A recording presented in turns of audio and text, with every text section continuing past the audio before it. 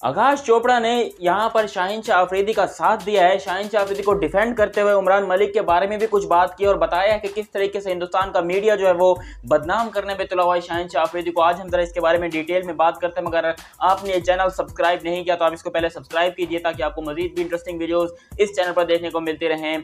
अब याद रहे कि यहाँ पर शाहिन शाह आफरीदी ने जो है एक स्टेटमेंट जारी किया था अपनी तरफ़ से। उनका एक स्टेटमेंट जो था उसको बहुत ही टेढ़े मेढ़े तरीके से एडिटिंग करके थोड़ा हिला डुला के वगैरह इंडियन मीडिया में आतंक फैलाने के लिए, सीरियस बोलेंगे ससुरा आतंक फैलाने के लिए जो है वो एडिट वेडिट करके जो है दुनिया के सामने पेश किया गया, जिसमें शाहिन शाफीदी का एक स्टेटमेंट था, जब उनसे एक सहाफ़ी ने सवाल किया कि भैया, आप ये बताइए कि आप उमरान मलिक के बारे में आप क्या कहते हैं, लोकी फर्गसन के बारे में आप क्या कहते हैं, क्योंकि उनके पास जो वो पेस शायद आपसे भी ज़्यादा है और आपकी पेस जो है वो थोड़ी सी कम हो गई है। तो शाहीन शाह ने ना ही उमरान मलिक का नाम लिया, ना ही लोकी फर्गसन का नाम लिया। उस ससुर ने कहा कि भाई, हम तो यहाँ पर लाइन और लेंथ पे काम करते हैं और स्पीड आपके पास कितने भी हो, या स्पीड स्लो भी हो तो तब भी चौके छक्के पड़ जाते लेकिन अगर आपकी लाइन लेंथ ठीक ना हो तो जो जो आपका मसला है वो कंटिन्यू रहेगा। जिसके ऊपर आकाश चोपड़ा साहब ने जो है, बड़ी एक अच्छी बात की। लेकिन इंडियन मीडिया में जो है, इसको बहुत तोड़ फोड़ के, कि शाहिन शाह अफरीदी ने उमरान मलिक की पेश की बेजती की है, या फिर शाहिन शाह अफरीदी को हो रही है जलन, और इस तरीके से बहुत ज़्यादा मिर्च मसाले लगाकर इस न्यूज़ को जब फैलाया गया, और इंडिया में जो है बहुत ज़्यादा इस बात पर और सीरियसली बोलूँगा, लोगों ने हेट फैलाना शुरू कर भी दिया था। लोगों के दिल में नफरत भी आ गई थी शाहिन शाह अफरीदी के लिए। लेकिन फिर आकाश भैया जो है हमारे, एक पप्पी इधर, एक पप्पी इधर।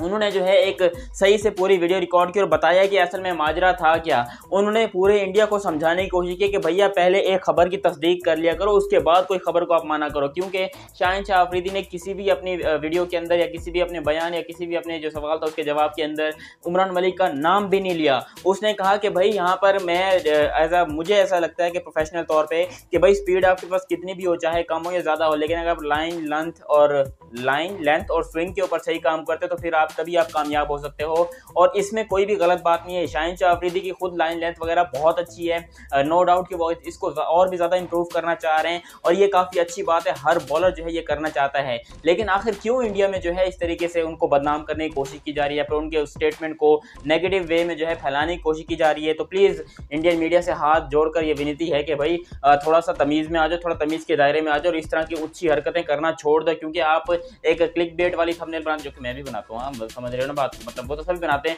लेकिन आप एक ऐसी थंबनेल बनाते हो या फिर आप एक ऐसी बात बोल जाते हो जहाँ पर आपको सिर्फ़ व्यूज़ से मतलब होता है, जो कि मुझे भी होता है। माफ़ी चाहते हैं, लेकिन क्या करें जो सच है वो है। तो यहाँ पर जो है उन्होंने बताया है कि भाई इस तरह की थंबनेल नहीं बननी चाहिए, फिर इस तरह की जो वीडियोस हैं वो नहीं होनी चाहिए, क्योंकि क्रिकेट जो है वो प्यार, मोहब्बत वाला खेल है, इसको आप कहाँ जंग और लड़ाई के मामले में लेके जाते हो? तो शाहिन शाह अफरीदी ने जो बात बोली है, मैं बिल्कुल उसी पर कहता हूँ कि भाई, बिल्कुल सही बात बोले शाहिन शाह अफरीदी ने, और इसको ऐसा ही बोलना चाहिए था। कोई भी क्रिकेटर होता तो वो यही बात बोलेगा स्पीड से कुछ नहीं होता क्योंकि स्पीड तो शेब अख्तर की इमरान मलिक से भी बहुत ज़्यादा थी। लेकिन यहाँ पर उन्होंने कहा कि भाई, एक अच्छी बात यह है कि भाई, शाहिन शाह आफरीदी जो है वो क्रिकेट के बारे में जो अभी यंग है, अभी सीख रहे हैं, उनने एक सेंसिबल बात की कोई भी नफरत वाली बात नहीं की हालाँकि वो चाहते तो शायद कुछ उल्टा बयान देते भी और फिर उसको अगर फैलाते तो यहाँ पर आपकी शायद कुछ तारीफ़ भी हो सकती थी। लेकिन अभी जो इंडिया ने खाली, इंडियन मीडिया ने जो बयान दिया है कि भाई शाहिन शाहिदी ने बेजती कर दी उमरान मलिक की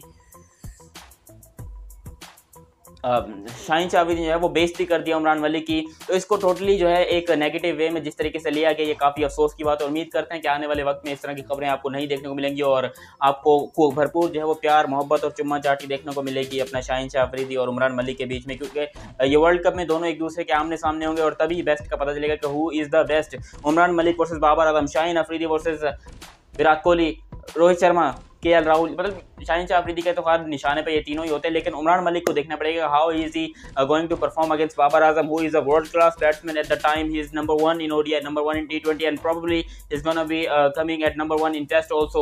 I mean babar azam has just become a brilliant batsman in this whole world and he's also made his place in the uh, fab five. I don't know how i'm speaking this well english मैंने English नहीं आनी मैं पहली गल करता ठीक है ना? अब मिलते हैं वीडियो में चैनल को सब्सक्राइब नहीं किया तो सब्सक्राइब करो फिर अल्लाह हाफिज़।